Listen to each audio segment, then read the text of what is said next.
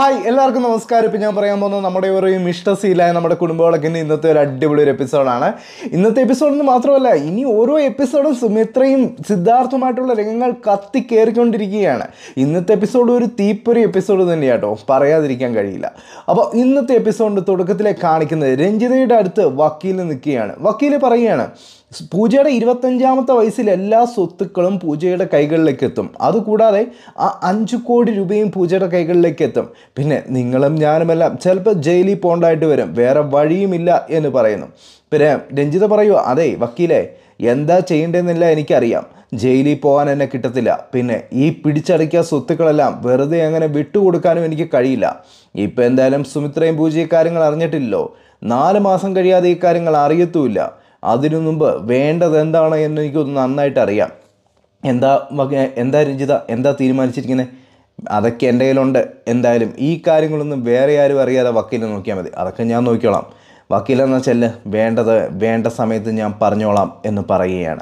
അങ്ങനെ രഞ്ജിത എന്തൊക്കെയോ തീരുമാനമെടുക്കുന്നു പരമന്തി വയ്ക്കുക എന്താ രഞ്ജിത എന്താ തീരുമാനം? അതൊക്കെ പിന്നീട് പറയാം. കാര്യങ്ങൾ ഞാൻ ഒന്ന് ആലോചിക്കട്ടെ എന്ന്. അത് കഴിഞ്ഞ് പിന്നീട് കാണിക്കുന്നത് സുമിത്രയാണ്.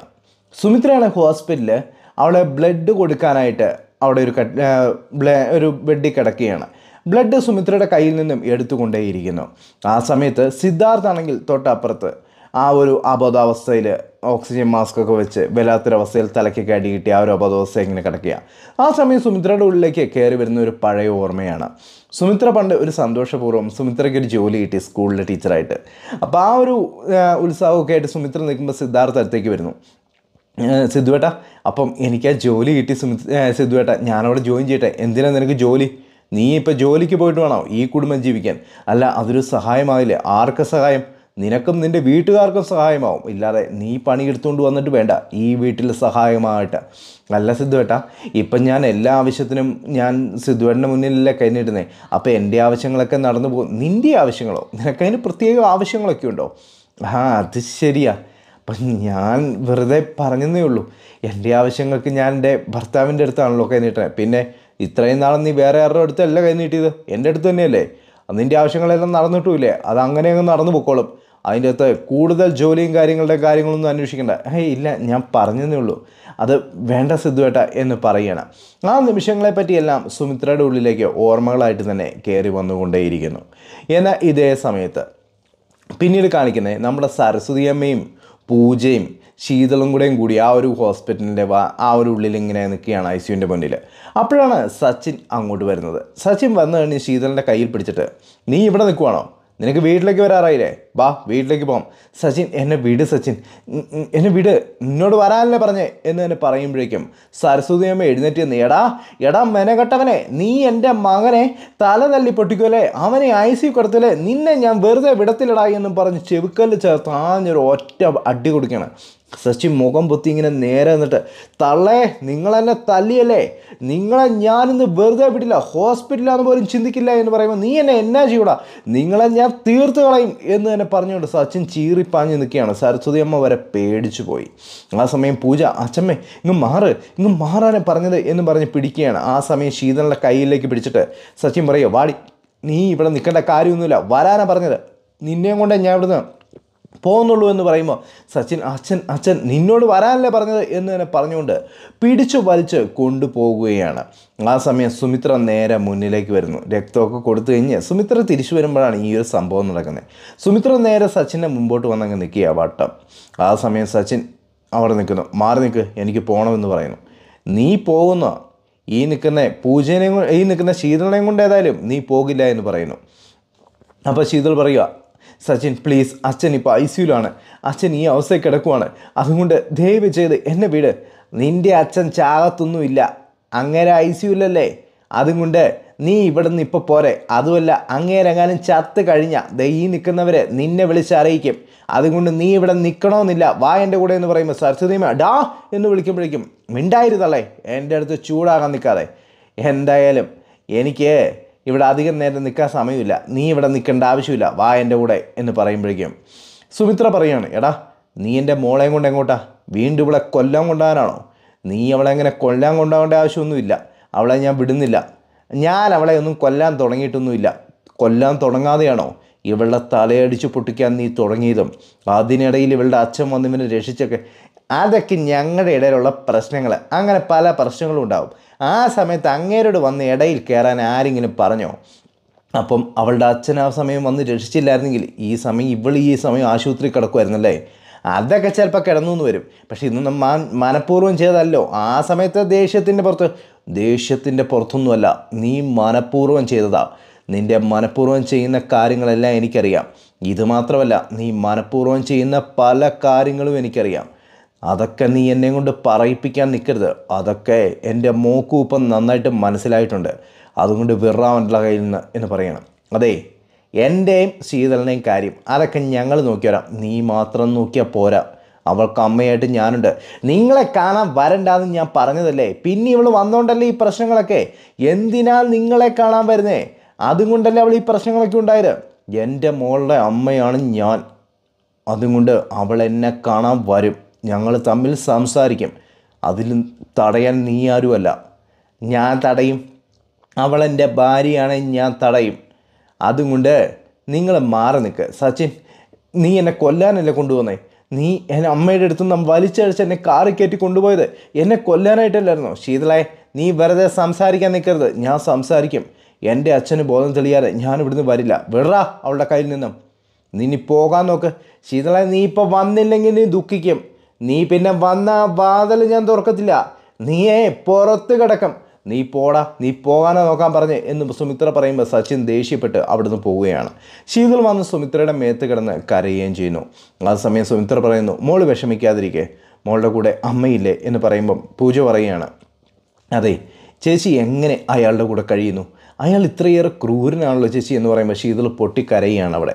ഈ സമയം സച്ചിൻ പോകുന്നതിന് മുമ്പ് ഒരു കാര്യം കൂടി പറയായിരുന്നു ഞാനവിടെ വന്ന് പറഞ്ഞതിന്റെ കാരണം തക്ക സമയത്ത് ഈ നിൽക്കുന്ന കിളവി എന്നെ വിളിച്ച് കാര്യങ്ങൾ അറിയിച്ചു. അതുകൊണ്ട് ഞാൻ അവിടെ വന്ന് കാണാൻ ഇടയായിരുന്നു. അത് ഞാൻ മിസ്സായി പോയി പറഞ്ഞപ്പം. അപ്പോൾ ആ കാര്യം കൂടെ കൂടി ഉണ്ടായിരുന്നു. അപ്പോൾ ഈ ഒരു കാര്യം കൂടെ കൂടി പറഞ്ഞപ്പോൾ സരസ്വതി അമ്മയുടെ നേരെ പൂജ നോക്കിയിട്ട് പറയുന്നുണ്ട് അച്ഛമ്മേ ഇതിനിടയിൽ ഇങ്ങനെയൊരു തേട്ടറേറ്റ് കളികൾ കളിച്ചല്ലേ എന്ന് തന്നെ ചോദിക്കുന്നുണ്ട്. ഇതിന്റെ മറുപടി പിന്നെ പറയാമെന്ന്. ഞാൻ ഇത് കഴിഞ്ഞ് പിന്നീട് കാണിക്കുന്നത് നമ്മുടെ അനിരുദ്ധിനെയാണ്. അനിരുദ്ധ് ശീതളിന്റെ വീട്ടിലെത്തി. കൂടെ ആ ഒരു മാനേജറും ഉണ്ട്. അപ്പോൾ വാതിലിൽ വന്ന് മുട്ടുമ്പോൾ അവിടെ ആരും ഇല്ല. മാനേജർ പറയണം ഞാൻ അപ്പോഴേ പറഞ്ഞതല്ല അനിരുദ്ധേ ഇവിടെ ആരും ഇല്ല എന്നുള്ള കാര്യം. നമ്മളിവിടെ വന്ന് വെറുതെ സമയം കഴിഞ്ഞു. സിദ്ധാർത്ഥ സാറിന് എന്തെയോ സംഭവിച്ചിട്ടുണ്ട്? അതാണ് എന്റെ പേടി. ഏയ് അങ്ങനെയൊന്നും വന്നിട്ടില്ല. അവർ വല്ലതും പുറത്തു വല്ലതും പോയതായിരിക്കും കേട്ടോ ഏയ് ശീതളിനെയും വലിച്ചഴിച്ചുകൊണ്ടല്ലേ സച്ചിൻ ഇങ്ങോട്ട് വന്നത്? ആ സമയത്ത് സിദ്ധാർത്ഥ സാർ ഇവിടെ ഇറങ്ങിയിട്ടുണ്ട്. എന്തൊക്കെയോ പ്രശ്നങ്ങൾ ഇവിടെ നടന്നിട്ടുണ്ട്. എന്തൊക്കെയോ സംഭവിച്ചിട്ടുണ്ട്. അത് കഴിഞ്ഞിട്ടാണ് സിദ്ധാർത്ഥ സാറിനെ വിളിച്ചിട്ട് കിട്ടാതെ ഏയ് അങ്ങനെയൊന്നും വരാൻ വഴിയില്ലായിരിക്കും ഏട്ടാ എന്ന് തന്നെ പറയുമ്പോഴേക്കും ഒരു വണ്ടി ഇങ്ങോട്ട് വരികയാണ്. സച്ചിനാണ് അതിൽ നിന്ന് ഇറങ്ങുന്നത്. സച്ചിൻ അടുത്തേക്ക് വരുന്നു. ആ താനോ? താൻ ജീവിച്ചിരിപ്പുണ്ടായിരുന്നു ഒളിയാ താനൊക്കെ ചത്തുപോയെന്നാണ് ഞാൻ വിചാരിച്ചത്. സച്ചിൻ ശീതളോടെ ശീതളോ? ശീതളിനെ അതിനെ താൻ തിരക്കുന്നേ? ശീതൾ എവിടെയാണെന്ന് ചോദിച്ചത്? അതെന്തിനാണോ താൻ തിരക്കുന്നത് എനിക്കറിയത്തില്ല എന്ന് പറയുന്നതും ആ മാനേജർ സച്ചിനെ കോളറെ പിടിച്ച് പൊക്കി ആ കാറയിലേക്ക് ചേർത്ത് നിർത്തിയിട്ട് ഡാ നീ പറയുന്നേ നല്ലത്.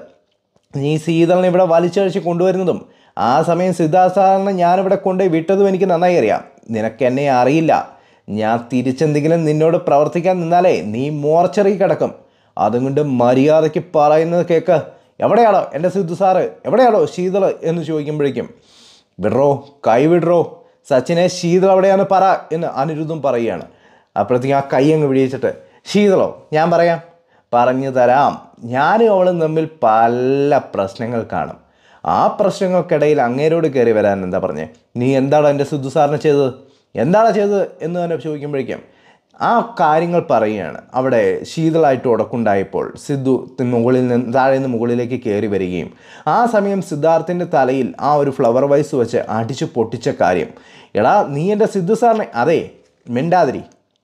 ഞാനും എന്റെ ഭാര്യയും തമ്മിൽ ഉടക്കുണ്ടാകും. സ്നേഹമുണ്ടാകും. പിച്ചും നുള്ളും തല്ലും വഴക്കൂടും എന്തും ചെയ്യും. അതിനിടയിലേക്ക് നിന്റെ തന്തയോട് കയറി വരാൻ ആരാ പറഞ്ഞത്? വന്നാൽ ഇങ്ങനെയൊക്കെ ഉണ്ടാവും. അങ്ങേരിപ്പോൾ കെ കെ ഹോസ്പിറ്റലിൽ കിടപ്പുണ്ട്. വേണേ പോയി കാണാൻ. അവളാണെങ്കിൽ അവളുടെ തന്തയ്ക്ക് കൂട്ടിരിപ്പുണ്ട്. ചാവോ ഇല്ലയോ എന്ന് അറിയാനായിട്ട്. ഡാ എന്ന് പറയുമ്പോൾ പോടോ എന്റെ അടുത്ത് കൂടുതൽ കളിക്കാൻ നിൽക്കരുത്. ഞാനൊരു ഡോക്ടറാ. മനുഷ്യ ദേഹങ്ങൾ കീറി മുറിച്ച് അടർപ്പ് മാറിയ ഡോക്ടർ. ആ എന്റെ അടുത്തും ആയുധങ്ങളുണ്ട്. ഇടപെടാൻ വന്ന വിവരം അറിയിക്കും ഞാൻ. പോകുന്നതാ മര്യാദയ്ക്ക് നല്ലത് എന്ന് തന്നെ പറയുകയാണ്. ആ സമയം അവിടെ നിന്ന് അവരൊന്ന് പേടിച്ചു. ആ സമയം പറയുന്നു ഇനിയിപ്പോൾ എന്താ അനിരുദ്ധ ചെയ്യുന്നതെന്ന് ചോദിക്കുകയാണ്. ആ സമയം പറയുന്നു ഇനിയിപ്പം കെ കെ ഹോസ്പിറ്റലിലേക്ക് പോകാനാണ്. അതെ ഏട്ടാ നമുക്കിനി കെ കെ ഹോസ്പിറ്റലിലേക്ക് പോകാം. അവിടെ ഉണ്ടെന്നല്ലേ പറഞ്ഞത് ശീതൾ അച്ഛനെയും ശീതളിനെയും അവിടെ പോയി കാണാമെന്ന് പറഞ്ഞ് അവർ ഇറങ്ങാൻ തുടങ്ങുമ്പോഴേക്കും അനിരുദ്ധിന്റെ ഫോണിലേക്ക് ഒരു കോൾ വരികയാണ്. കൊച്ചാണ് വിളിക്കുന്നത് സ്വരമോൾ മോളെ. മോളെന്തിനാ കരയുന്നത് എന്താ മോളെ എന്താ പറ്റിയത്? അമ്മ അമ്മ തലകറങ്ങി വീണുന്നു അയ്യോ ഞാൻ ഇപ്പോൾ വരാം എന്ന് പറയുകയാണ്. ഏട്ടാ അനു തലകറങ്ങി വീണു എന്നാ പറഞ്ഞത്. മോളാ വിളിച്ചത്. ഞാനൊന്ന് പെട്ടെന്ന് അങ്ങോട്ട് ചെല്ലട്ടെ എന്ന് പറയാണ്. ശരി എന്ന് തന്നെ പറഞ്ഞ് അവിടെ നിന്ന് പെട്ടെന്ന് മാനേജർ ഹോസ്പിറ്റലിലേക്ക് പോകാൻ തുടങ്ങുകയാണ്. ഈ സമയം ഹോസ്പിറ്റലാണ് കാണിക്കുന്നത്. സുമിത്ര അവിടെ ഇരിക്കുന്നു. ബാക്കി എല്ലാവരും അവിടെ നിൽക്കുകയാണ്. ആ സമയം പൂജ വന്ന് പറയുന്നു. അമ്മേ അമ്മ ഒന്ന് റെസ്റ്റ് എടുക്കുന്നത് നല്ലത്. വേണ്ട മോളെ ഞാൻ അവിടെ ഇരുന്നോളാം എന്ന് പറയുന്നു. അപ്പോൾ സരസ്വതി അമ്മ ചെന്ന് ശീതളിന്റെ തോളിൽ കൈവച്ച് മോളെ ആ സമയം നീ സച്ചിനോട് പറഞ്ഞിട്ട് വരാത്തത് തെറ്റാണെന്ന് കരുതിയിട്ടാ അച്ചമ്മ വിളിച്ച് സച്ചിനോട് പറഞ്ഞത് എന്ന് പറയുമ്പോഴേക്കും പൂജ വന്നിട്ട് പറയുക അതേ മതി അച്ചമ്മേ കുറേ നേരമായില്ലേ? അച്ചമ്മയുടെ സ്വഭാവം അറിയത്തില്ലാത്തൊന്നുമല്ല ഞങ്ങൾക്കാർക്കും. അതുകൊണ്ട് അച്ചമ്മയൊന്നും തെളിയിക്കാൻ നിൽക്കണ്ട. അതൊക്കെ പിന്നീട് സംസാരിക്കാം. അമ്മേ അമ്മ ബ്ലഡ് കൊടുത്ത് ക്ഷീണിച്ചിരിക്കുമല്ലേ അമ്മയും ശീതളച്ചും കൂടെ വീട്ടിലേക്ക് ചെല്ല്. ഞാനും അച്ചമ്മയും കൂടെ ഇവിടെ ഇരുന്നോളാം. എന്തെങ്കിലും ഉണ്ടെങ്കിൽ വിളിച്ചറിയിക്കാം എന്ന് പറയണം. വേണ്ട മോളെ ഈ സമയം എനിക്കിവിടുന്ന് മാറി നിൽക്കാനായിട്ട് കഴിയില്ല. അതുകൊണ്ട് ഞാനിവിടെ വേണം മോളെ എന്ന് പറയുകയാണ്. എന്നാൽ ഇതേ സമയത്ത് അവിടെ ആ ഒരു പങ്കജനെ വലിച്ചഴച്ചുകൊണ്ട് അവൻ വരികയാണ്. രഞ്ജിതയുടെ കെട്ടിയവൻ അരവിന്ദ്. അരവിന്ദ് വാതിക്കെട്ട് കൊണ്ടു ദേ രഞ്ജിത ഇവനെ കിട്ടിയിട്ടുണ്ട്. ഒരു വിധത്തിൽ കൊണ്ടുവന്നതാ. നിനക്ക് എന്താ പറയാമെന്ന് വെച്ചാൽ എന്താ പറഞ്ഞാണ്. നീ ഇങ്ങനെ കറങ്ങി നടന്നോടാ ഓരോ കാര്യങ്ങളായിട്ട് നിന്റെ കറങ്ങി നടത്തമൊക്കെ അവസാനിക്കാൻ പോവുകയാണെന്ന് അതെന്താ കാര്യം? അമ്മ എന്താ പറഞ്ഞ ഉദ്ദേശിക്കുന്നത് നിൽക്കുമ്പോഴേക്കും അവിടെ അരവിന്ദ് പറയണേ എടാ നിന്റെ പബ്ബ് കളിയും നിന്റെ അഴിഞ്ഞാട്ടവും എല്ലാം തീരുക കാൽച്ചോട്ടിലെ മണ്ണ് ഒലിച്ചു പോയിക്കൊണ്ടിരിക്കുക എല്ലാം നഷ്ടപ്പെടാനായിട്ട് പോവുക എന്താ ഈ അച്ഛൻ പറയുന്നത് അതേ മോനെ നീ ഇപ്പോൾ അവിടെ പോയതാ? ഞാൻ അവിടെ ഓഫീസിലുണ്ടായിരുന്നു. അതെ ശീതളുമായിട്ട് നീ എങ്ങനെ ഇപ്പം? ശീതളുമായിട്ട് ഞാൻ എന്റെ അമ്മ ഒന്നുമില്ല അമ്മേ. എന്റെ അമ്മ അങ്ങനെ ചോദിച്ചത്. നീയും അവളും തമ്മിൽ ഇഷ്ടത്തിലാണോ? ആണെങ്കിൽ ആണെന്ന് പറ. നിനക്കവളെ ഇഷ്ടമാണോ? അമ്മ എനിക്കെന്ത് ഇഷ്ടം? അവളെ വിവാഹം കഴിക്കുക ഈ വീട്ടിൽ കൊണ്ടുവരിക അവളെ അമ്മയുടെ കാൽച്ചോട്ടിലിടുക എന്നിട്ട് വലിച്ചെറിയുക. അതെന്റെ പ്രതികാരമല്ലമ്മേ അതിനു വേണ്ടിയല്ലേ ഞാൻ അവളെ സ്നേഹിക്കുന്നത്. എന്നിട്ട് അവൾ നിന്നെ ഇഷ്ടപ്പെട്ടോ? അത് ഇഷ്ടപ്പെട്ടോ എന്ന് ചോദിച്ചാൽ ഇഷ്ടപ്പെട്ടിട്ടില്ല അമ്മേ. ഇഷ്ടപ്പെടാതെ പിന്നെ നീ എന്തിനാണ് മെനക്കെട്ട് അവളുടെ പുറകെ നടക്കുന്നത്? അമ്മേ അത് അത് അത് ഇപ്പോൾ ശീതളിനെ വിവാഹം കഴിക്കണം? അതിന്റെ ഇടയിൽ അപ്പു കയറി എന്ന് പ്രശ്നങ്ങൾ ഉണ്ടാക്കുന്നുണ്ട്. അതുകൊണ്ട് അവൾ ഞാനായിട്ട് അടുക്കത്തെ എന്നിട്ട് അപ്പുവിനെ നീ മാറ്റാനുള്ള കാര്യങ്ങൾ നോക്കിയോ? അത് ഞാൻ വേറെ അപ്പുവിന്റെ അച്ഛനോട് ദീപങ്ങളോട് പറഞ്ഞിട്ടുണ്ട്. അയാൾ നോക്കിക്കോളാമെന്നാണ് പറഞ്ഞത്. അത് വർക്കൗട്ട് ആവുന്നുണ്ട് ഇപ്പോൾ പയ്യെ പയ്യെ. എന്നാൽ നേരത്തെ വേണം. എന്താ അമ്മ പറഞ്ഞത്? പൂജയും നീയും തമ്മിലുള്ള വിവാഹം നടക്കണമെന്ന് രഞ്ജിതെ നീ എന്താ ഈ പറയുന്നത് അവനും പൂജയും തമ്മിലുള്ള വിവാഹം നടക്കണമെന്നോ ആ കാര്യം നീ എന്താ എന്നോട് പറയാത്തെ? നീ എന്തിനു ഇവനെ വിളിച്ചുകൊണ്ട് വരാൻ പറഞ്ഞത്? ഈ കാര്യം പറയാനാണോ? അതെ നിങ്ങളോട് എല്ലാ കാര്യങ്ങളും പറയാൻ പറ്റുമോ പൂജയെ നീ വിവാഹം കഴിക്കണം. നിങ്ങളുടെ രണ്ടുപേരുടെയും വിവാഹം ഗംഭീരമായിട്ട് ഈ അമ്മ നടത്തി തരും നീ അവളെ വിവാഹം കഴിച്ചാലേ കാര്യങ്ങൾ എല്ലാം നല്ല രീതിയിൽ പോവുള്ളൂ. ഇല്ലെങ്കിൽ എല്ലാ സ്വത്തുക്കളും നഷ്ടപ്പെടും. ഈ സ്വത്തുക്കളൊന്നും നഷ്ടപ്പെടാൻ എനിക്ക് പറ്റില്ല. അതുകൊണ്ട് നീ അവളെ വിവാഹം കഴിക്കണം. ഈ സ്വത്തുക്കളെല്ലാം സേഫായിട്ട് വെക്കാൻ മറ്റൊരു മാർഗവും ഞാൻ കാണുന്നില്ല എന്ന് തന്നെ പറയുന്നിടത്ത് ഇന്നത്തെ എപ്പിസോഡ് ഇവിടെ അവസാനിക്കുകയും ചെയ്യുന്നു. അപ്പോൾ എല്ലാവർക്കും ഇന്നത്തെ എപ്പിസോഡ് ഇഷ്ടപ്പെട്ടു എന്ന് വിചാരിച്ചുകൊണ്ട് ഇന്നത്തെ എപ്പിസോഡ് വൈൻഡ് അപ്പ് ചെയ്യണം. Thanks for watching my video this is hum signing out bye bye tata